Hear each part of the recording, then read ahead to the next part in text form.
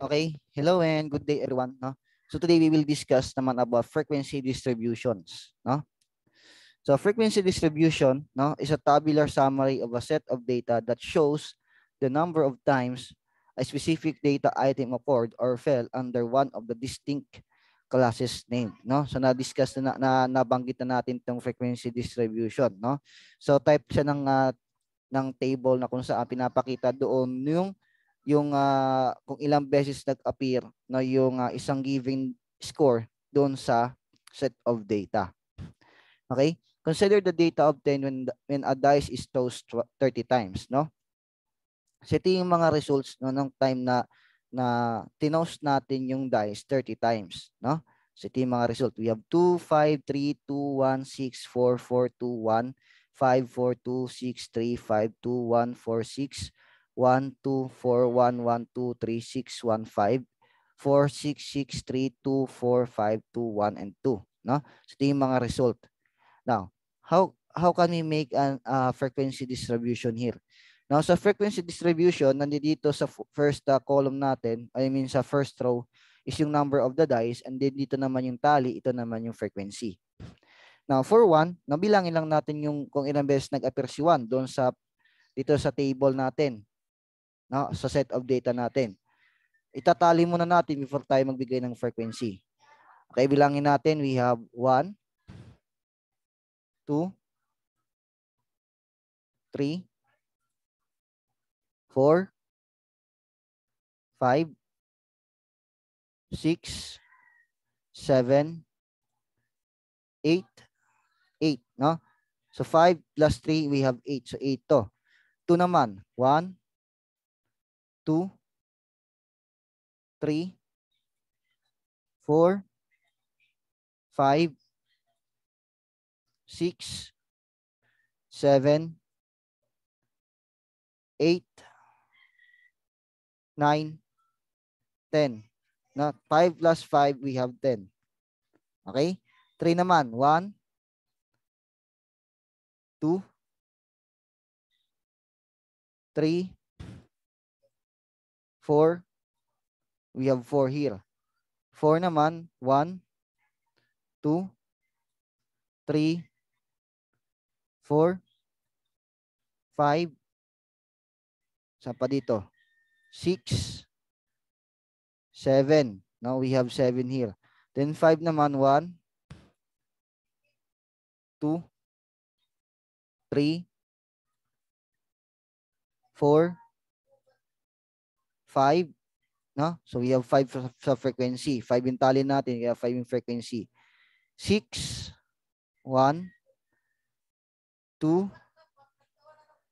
3, 4, 5, 6. Okay. Okay ha? So we have 62 sa frequency. Then add natin lahat. Then we have 30 yan. Okay? So ganyan paggawa ng frequency distribution table. Now, another one. Now, make the frequency distribution given the data. Okay? Again, ito yung uh, table natin. No? Ito naman yung uh, frequency distribution. Now, dito sa number of the scores, no, it's up to you kung i-arrange nyo sila in a descending or ascending order. No? Pag sinabing ascending from lowest to highest, pag sinabing descending naman from from highest to lowest. No? So now, I will uh, I will arrange this one into to lowest to highest, no? I will pick no yung pinakamaliit that is 55. 55 followed by what number? Yung next high uh, smallest number is 60, no? Then we have 61. Isang kopya lang kada ano ha, hindi mo hindi porket tatlo 61 dito, 61 ilalagay mo. Isa-isa lang. 61, 62, 63, 64, 65. Okay, so 65 yung pinakamataas. Next, bilangin naman natin yung tally nila. Of 55, we have 1, 1, 2. Okay, so 2 lang. Kay 60 naman, we have 1, 2, 3, 1, 2, 3, 4 na. 5, 6, 7, nahuhuli yung an- animation eh. Pero 7 na yan. Bilangin natin ulit. 1, 2, 3, 4, 5, 6, 7, 8. Yan. For 61, we have 1, 2, 3, 4. 62 naman, we have 1, 2, 3, no? 63 naman, we have 1, 2, 3, 4, 5. 64, we have 1, 2, 65 naman, we have 1. Ay, ito, tatlo pala, 64.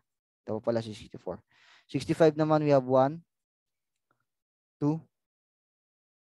3, 4, 5. 4 lang.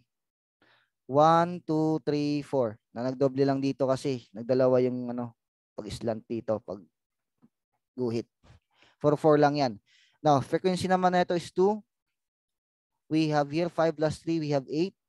We have 4 for 61, 3 for 62, 5 for 63, 3 for 64, and 5 for 65.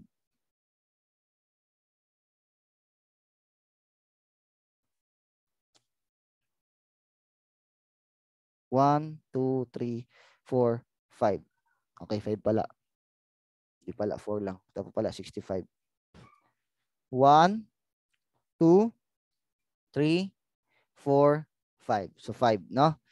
Now, add natin, no? 2 plus 8 plus 4 plus 3 plus 5 plus 3 plus 5, that would be equal to 30.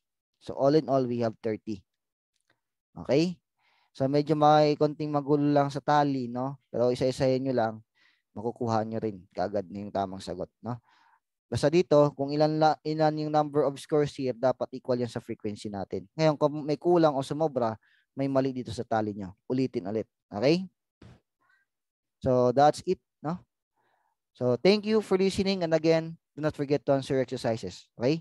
So, that's all. Goodbye and God bless.